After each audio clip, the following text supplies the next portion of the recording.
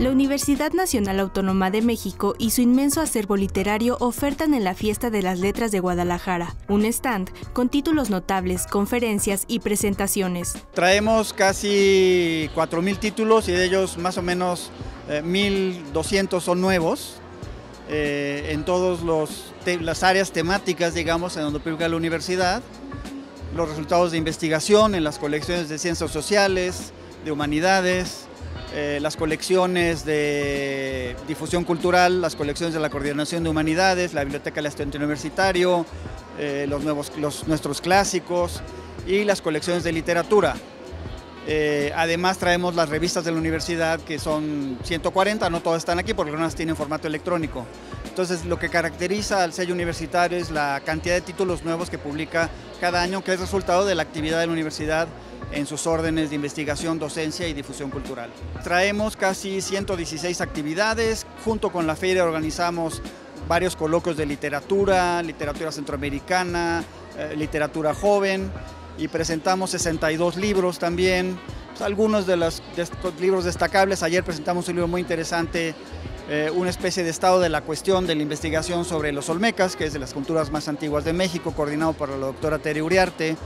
Presentaremos el libro que se llama Historia Colectiva de Medio Siglo, 1968-2018, que son 50 autores que escriben, eh, se sortearon al azar los años, se les distribuyeron eh, y cada uno de ellos escogió un hecho de cada año que le parecía emblemático, representativo de ese año. Están desde Elena Poniatowska, Héctor Aguilar Camín, Rafael Pérez Gay, eh, van a estar Álvaro Uribe, Ana García Bergua y Rafael Rojas presentándolo el martes.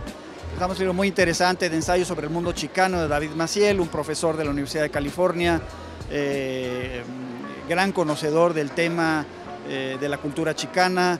Presentamos eh, un libro de Ale de la Puente sobre un proyecto de ciencia y arte. se presenta la revista de la universidad.